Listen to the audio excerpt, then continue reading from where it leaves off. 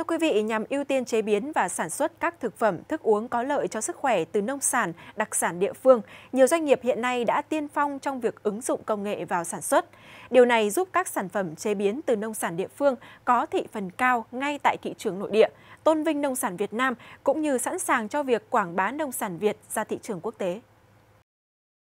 Năm 2020, doanh nghiệp này đã thực hiện một đề tài khoa học mang tên Nghiên cứu hoàn thiện quy trình công nghệ sản xuất chế biến đồ uống giải khát lên men từ chè Thái Nguyên, trà kombucha. Đề tài này được Sở Khoa học và Công nghệ Thái Nguyên đánh giá cao. Sau đó vào tháng 4 2021, hai bên đã chính thức cho ra mắt các sản phẩm mang tên V Kombucha với thương hiệu định danh Product of Thái Nguyên. Từ đó doanh nghiệp đã hướng đến các sản phẩm dành cho sức khỏe, được biết đến với tên gọi Medifood, thực phẩm thuốc.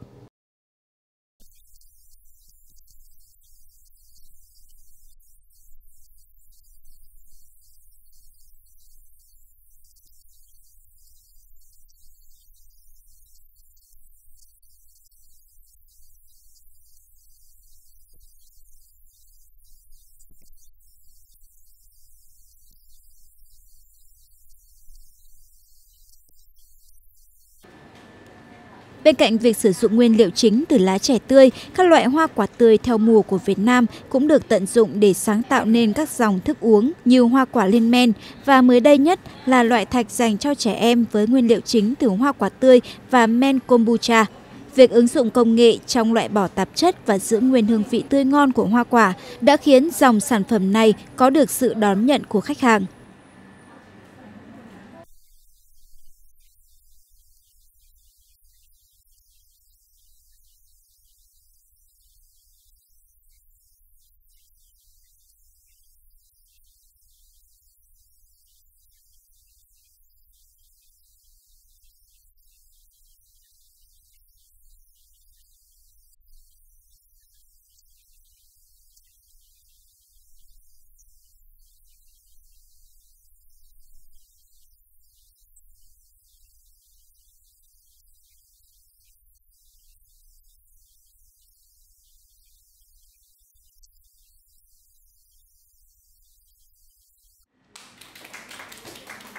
lấy hoa quả nông sản của Việt Nam làm nguyên liệu trung tâm, ứng dụng công nghệ để biến chúng trở thành những sản phẩm có hương vị mới lạ hơn, dinh dưỡng hơn và mang đến giá trị kinh tế cao hơn. Hy vọng rằng những sản phẩm như vậy sẽ ngày càng đáp ứng nhu cầu ngày càng cao của người tiêu dùng Việt và nâng tầm được giá trị của nông sản Việt Nam.